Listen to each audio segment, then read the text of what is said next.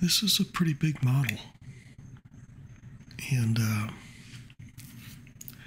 I'm not an expert radio control pilot, so I may actually crash this thing, but hopefully not.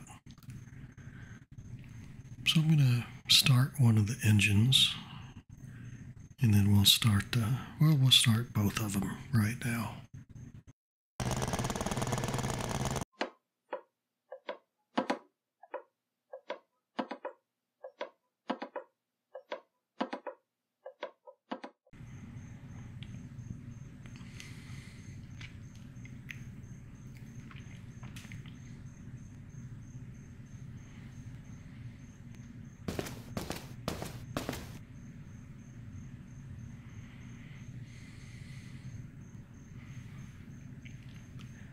Hey, everybody.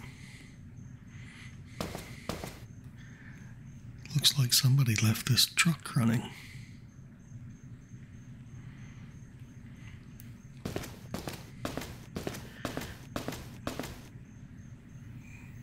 And the same can be said for the tractor.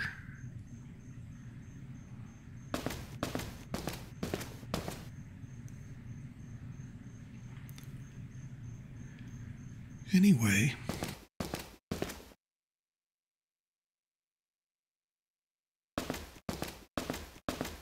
I'm at the flying field.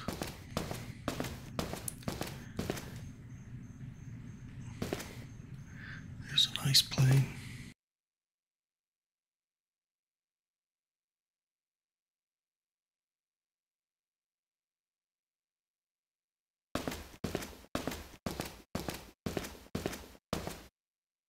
Be flying this uh, this North American B-25 Mitchell.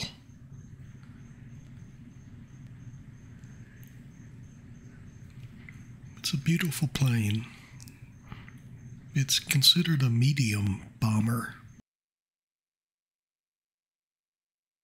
I think the first one was built in like early 1941.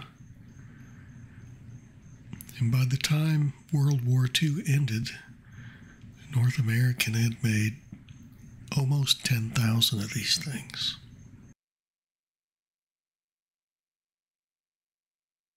This one is the Yellow Rose.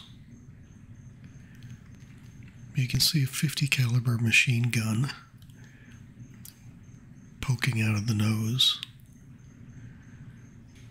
And on the side of the fuselage, there's some uh, what you call blisters. And there's 50 gallon, excuse me, 50 caliber machine guns there on the side, two of them.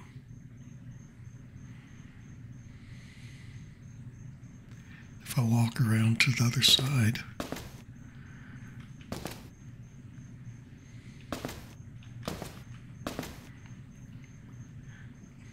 you can see two more of those.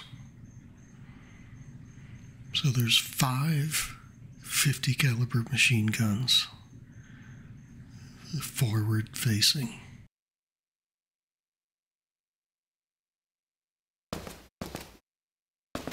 And on top of the plane, you can see this uh, ball turret, but you can see 250 calibers uh, there also.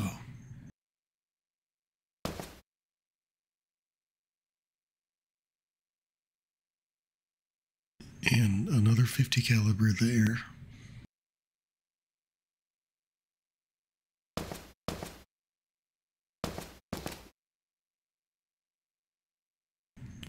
Two more out the back.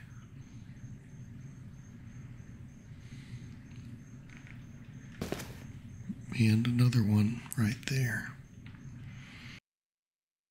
So, how many did we count? Uh, well, two in the back, six on the side, two in the back, that's eight, one in the nose, that's nine, and two on the top, that's uh, 11, right? So, 11 50 caliber machine guns.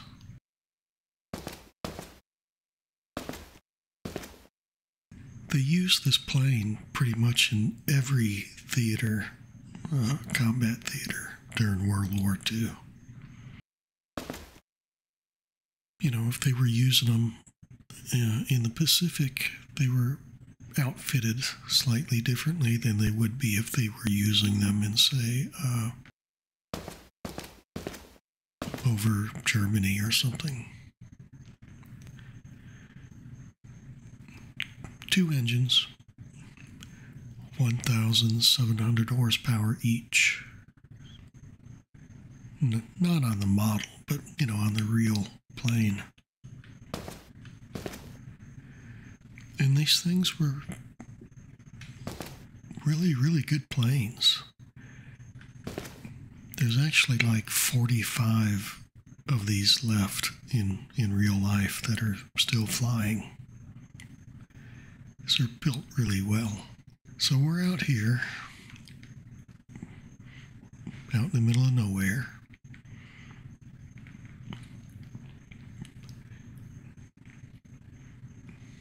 The Real Flight Ranch. I think there's a helicopter on that table over there. But yeah, we're gonna we're gonna start it up and uh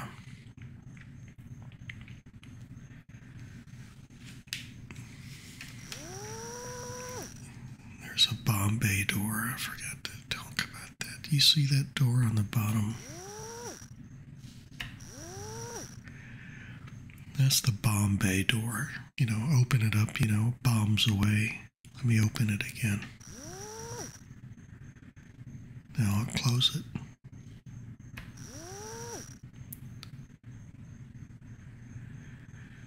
This is a pretty big model. And uh,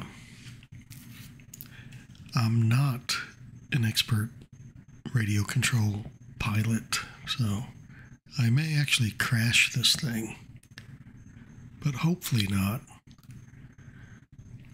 So I'm going to start one of the engines, and then we'll start, uh, well, we'll start both of them right now.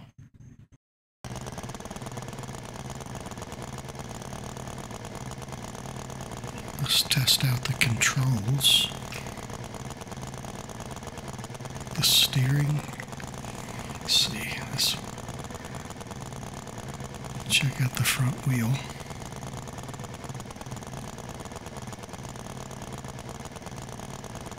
And when I turn the front wheel, it also turns the tail fins. Let's check out the elevator. Oops, wrong knob.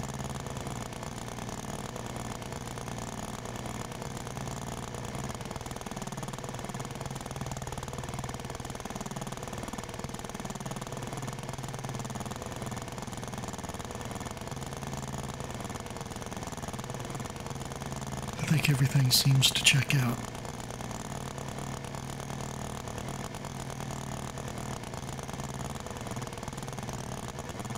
Let's walk over here to the side.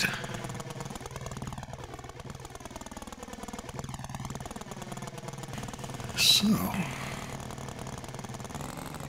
I'm going to taxi down to the left side of the runway.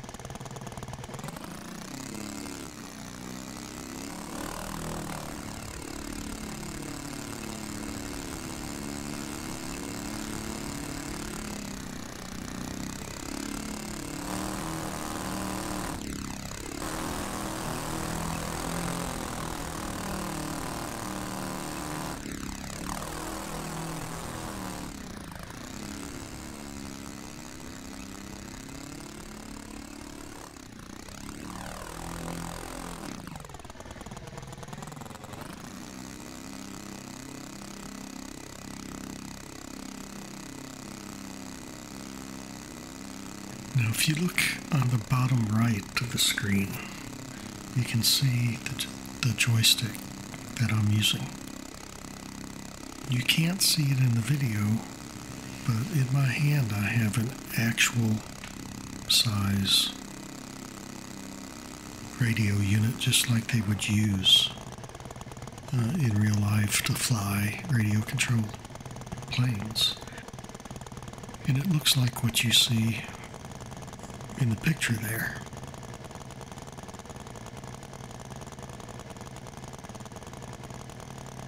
Okay, so let's take it up and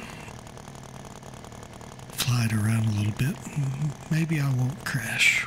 Here we go.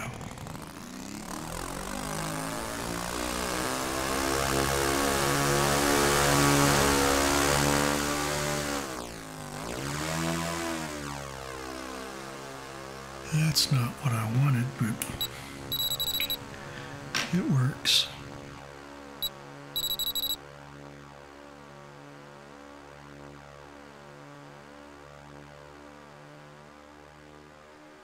I'm going to put the landing gear up.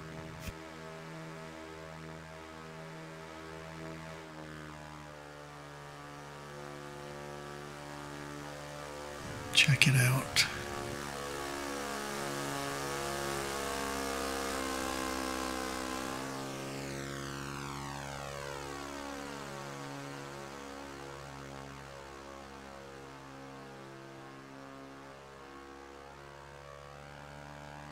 That's a good sized plane.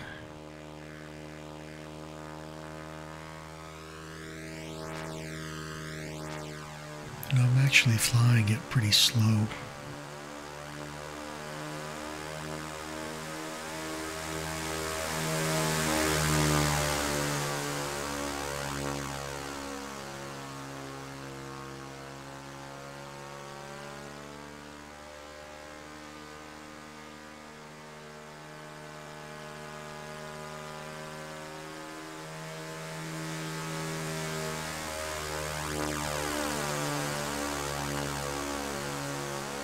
Let's see if I can change camera view here.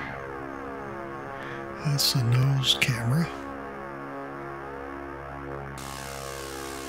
Let's put the gear up.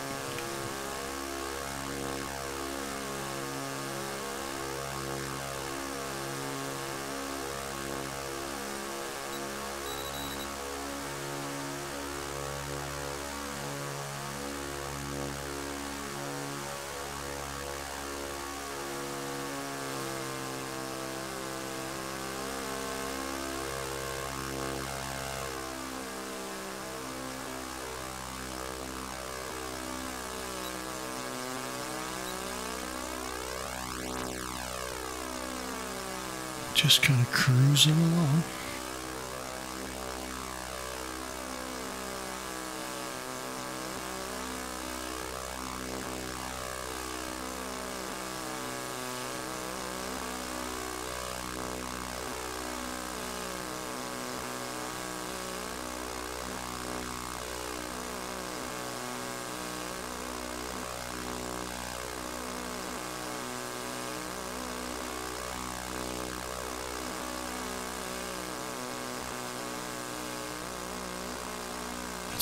Back around toward the field.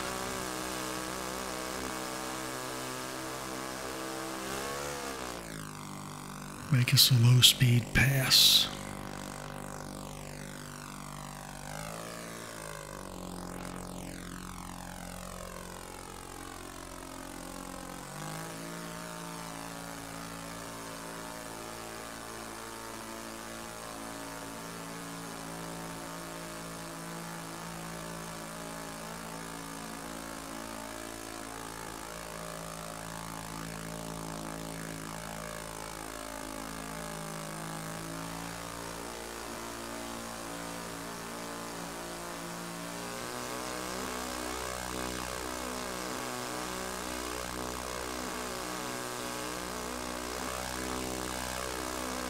I wonder if I can fly this with just one engine. I'm going to gain some altitude and then turn one of the engines off.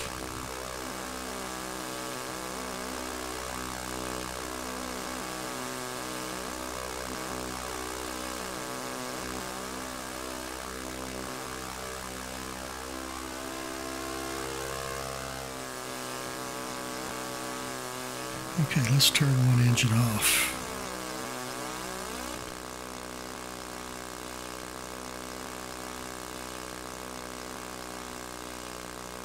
Okay. It can be done. Uh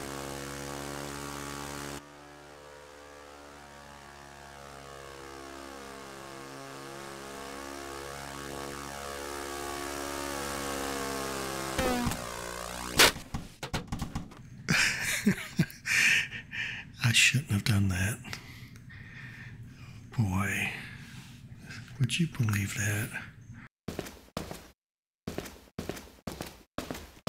Where's it at? There it is. Oh, we really messed this thing up.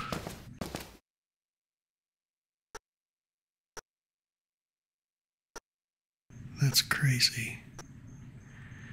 We're going to try it one more time. So let's put it back. Let's fix it and put it back on the runway.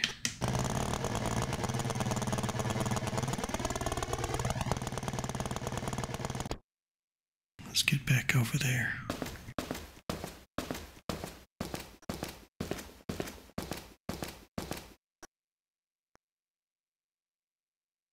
Let's try this again.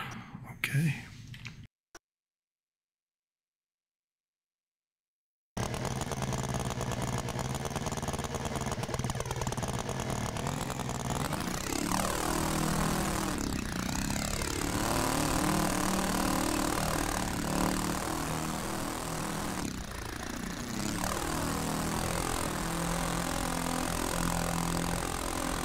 Let's taxi down.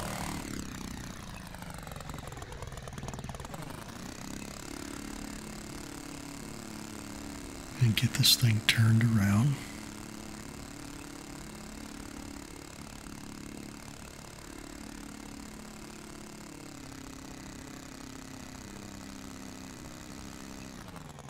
Here we go.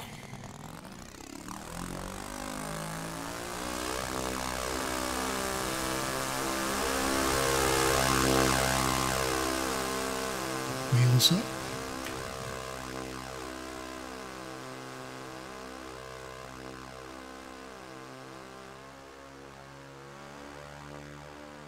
We'll bring it around for a nice, nice look.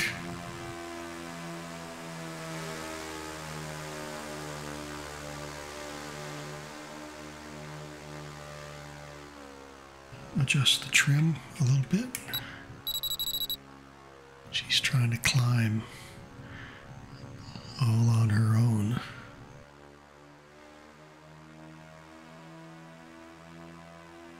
Bring it down for a low, low altitude pass.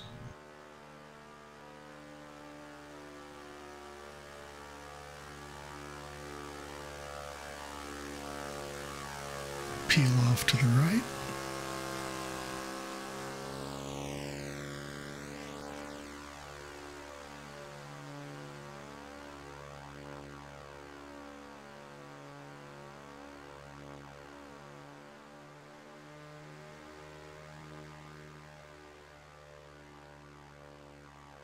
I'm going to go ahead and put the wheels down.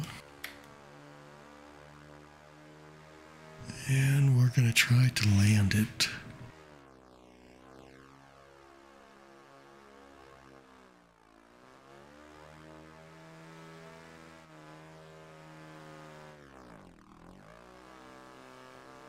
It takes a lot of depth perception to do this.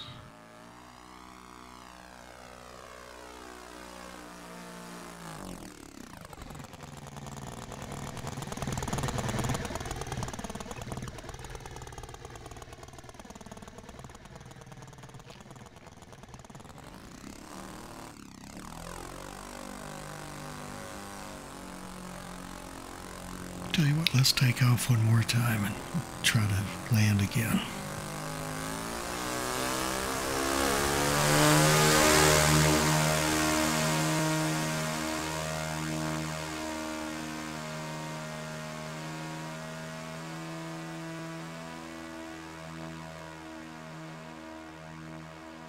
Maybe we can try some aerobatics in this thing.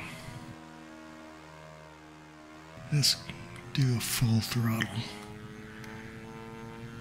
In real life, the plane could fly over 300 miles an hour.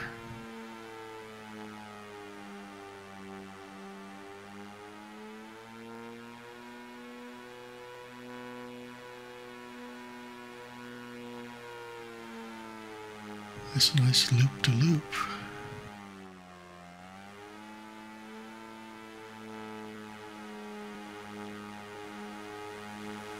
Wonder if I can do a barrel roll. Let's see here. Oh, yeah. That's nice.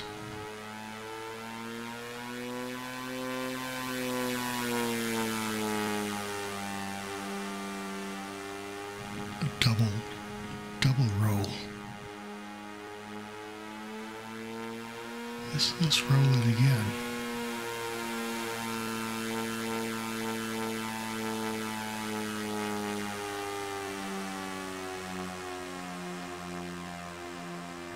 try to land it again.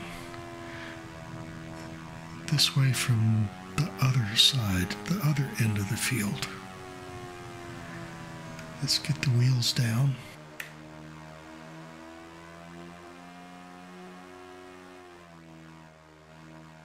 Cut back on the power. And bring it around. On the power, off the power. Coming in, coming in hot.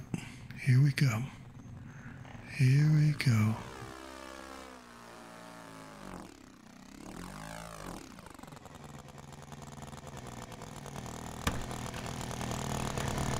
Kind of bumpy, but at least I didn't destroy it this time.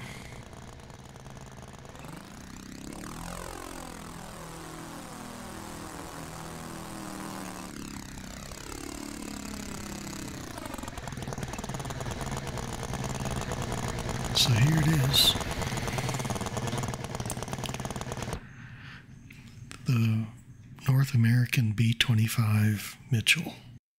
It's named after a, a, a general, uh, Billy, Billy Mitchell, I believe. Most bombers are named, you know, with names that kind of signify safety and power, like uh, the B 17 is a, they call that a flying fortress, and the B 29 is called a a super fortress, and a B 24 is called the Liberator.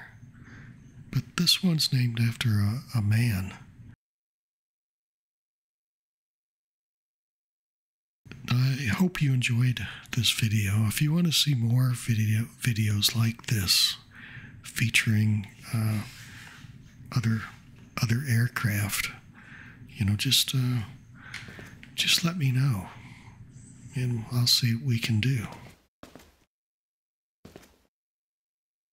So until then, uh, so long from what's the name of this place again?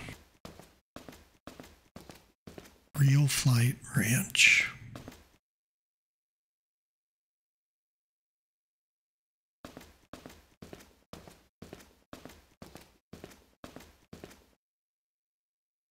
Anyway, take care.